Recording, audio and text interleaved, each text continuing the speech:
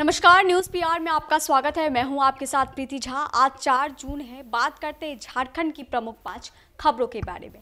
पहली खबर है, पर्यावरण दिवस पर ऑनलाइन प्रतियोगिता का आयोजन। जागरूक कर्मी को पुरस्कृत करेंगे बीएसएल। हर वर्ष 5 जून को विश्व पर्यावरण दिवस मनाया जाता है। हर साल की तरह इस साल भी बीएसएल पर्यावरण दिवस से संबंधित कई प्रतियोगिताओं का आयोजन कर रहा है। कोरोना महामारी को देखते हुए सारे कार्यक्रम और प्रतियोगिता ऑनलाइन ही आयोजित किए जाएँगे। बीएसएल द्वारा मुख्य रूप से दो प्रतियोगिताओं का आयोजन किया गया है।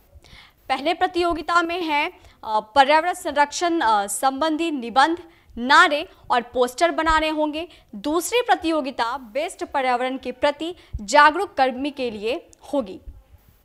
बढ़ते हैं अगली खबर की ओर। दो दशक से बंद कंपनी इन कैब इंडस्ट्री लिमिटेड के खुलने की संभावना बढ़ी।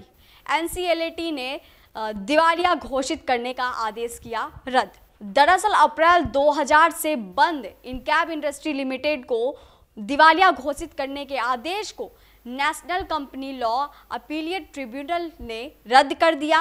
आज सुबह साढ़े दस बजे national company law appellate tribunal के चेयरमैन ने अपना फैसला सुनाया। इस इस फैसले से केबल कर्मचारियों में काफ़ी खुशी की लहर दौड़ गई। एक बार फिर से केबल कंपनी के खुलने की संभावना बढ़ गई है। बढ़ते हैं अगली खबर की ओर।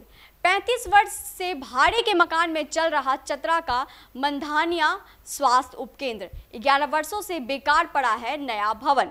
पदाधिकारियों की कमी के कारण मंधानिया, जो स्थित स्वास्थ्य उपकेंद्र का संचालन 35 वर्षों से निजी मकान में चलाया जा रहा है, उपकेंद्र को अब तक अपना सरकारी भवन नसीब नहीं हो पाया।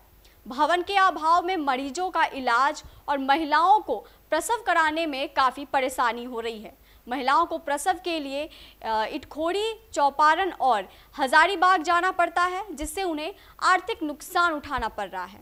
इसके अलावा स्वास्थ्य कर्मियों को कागजात व स्वास्थ्य उपकरण में रख रखाव में भी काफ़ी दिक्कत हो रही है।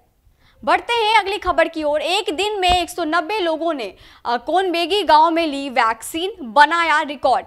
जिला के कोनबेगी गाँव में 190 लोगों का वैक्सीनेशन किया गया, जो जिला के किसी गाँव में एक दिन का सर्वाधिक वैक्सीनेशन का रिकॉर्ड है। कौनबेगी गाँव में युवा वैज्ञानिक डॉक्टर सिद्धार्थ प्रसाद के वैक्सीन लेने के बाद से ही गाँव और आसपास के लोग कोरोना का टीका लेने के लिए आगे आने लगे। बढ़ते हैं अगली खबर की ओर। कोरोना संक्रमण की रफ्तार कम होते ही ट्रेनों में बढ़ी यात्रियों की भीड़। अब रांची से मुंबई का सफ़र होगा आसान। दरअसल रांची से मुंबई जाने वाली यात्रियों की वेटिंग लिस्ट लंबी होती जा रही है। इसे देखते हुए रेलवे ने हटिया से मुंबई के लिए स्पेशल ट्रेन चलाने का निर्णय लिया है।